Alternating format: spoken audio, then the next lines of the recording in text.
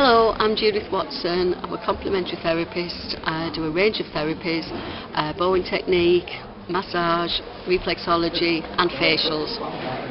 I like to I like to use music um, as a background to the therapies and I found alpha music to be very successful.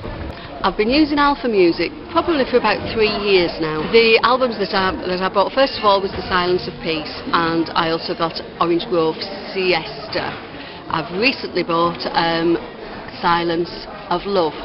I use Silence of Peace more often than anything else okay. because I found it very, very relaxed. Uh, I find alpha music different to normal relaxation music. Uh, from a personal point of view, I find it's um, less. I, like I like alpha music more than um, normal relaxation music because uh, I have to say that I don't find normal relaxation music very relaxing myself. Oh, why is that? I find it um, often is irritating. It's a little bit um, too new agey and I don't think I don't really want my my clients to come into a new age atmosphere. I want it to feel like it's a healing atmosphere. I feel that alpha music relaxes people right from square one.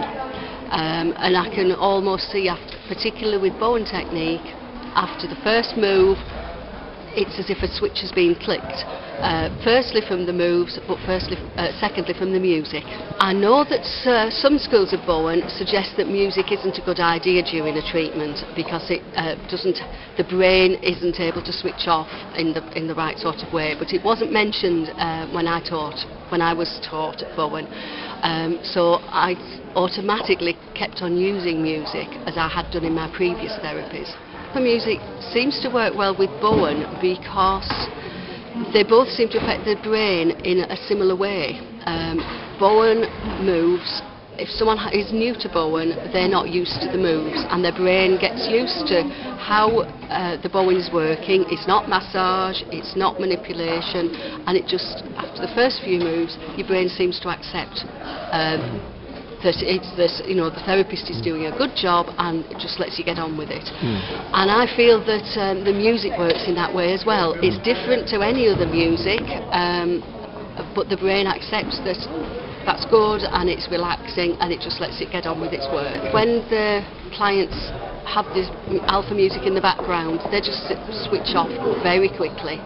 Um, clients that have been known to talk all the time through a treatment um, when I've left the room, after some moves, come back in and they carry on talking. When there's alpha music going, often when I come back in the room, they've gone. At the beginning of a treatment, um, I will discuss how they've been since the last treatment.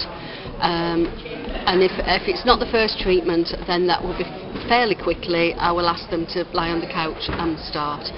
Um, generally, I will then switch the music on. Yeah.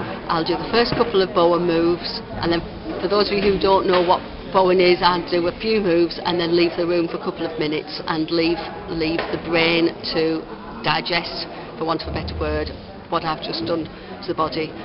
Um, and then come back in and continue with the next set of moves. And by the time I come in to do the second lot of moves, the Bowen and the music have done their magic together. Really? And and most times the clients are very well switched off.